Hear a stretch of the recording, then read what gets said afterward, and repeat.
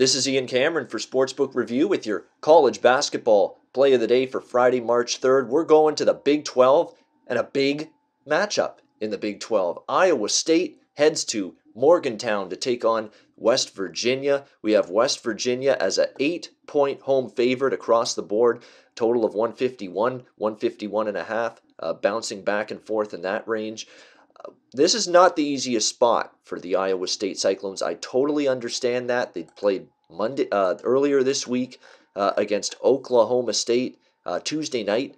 Uh, it was an intense game, back and forth, roller coaster ride. You had momentum swings, tons of lead changes back and forth.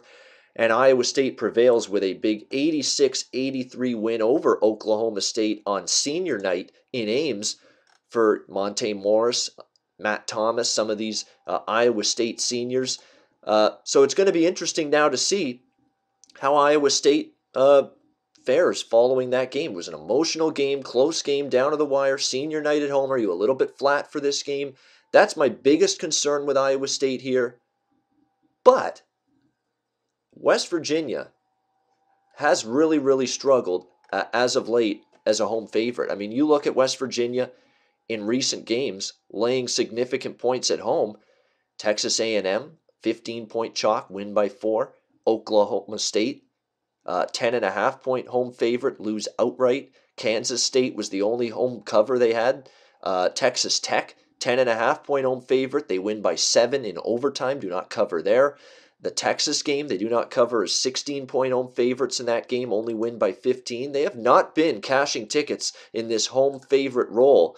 And they're a solid, they're not just expected to win this game or being asked to win this game. They're being asked to win this game by margin against an Iowa State team that is really rolling right now. They have won six straight games. They are five and one against the spread. Iowa State in their last six games. Their only loss, in fact, they're actually uh, seven and one straight up in their last eight games, and the only loss was by two points uh, on the road at Texas.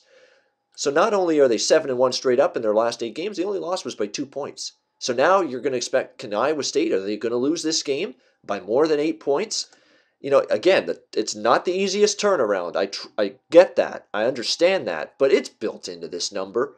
I mean, if you think that uh, the odds makers aren't aware that Iowa State played an emotional senior night home game, home finale against Oklahoma State before making this number, you're kidding yourself. They know about it, and it's and it's built into this line. West Virginia probably laying a point, a point and a half more because of the tough spot here for Iowa State than maybe they would have otherwise. And I think that gives us value with Iowa State uh, in this game. And it's also a massive revenge game for Iowa State. I mean, West Virginia just didn't beat Iowa State uh, in late January in Ames. Uh, they annihilated Iowa State 85 72.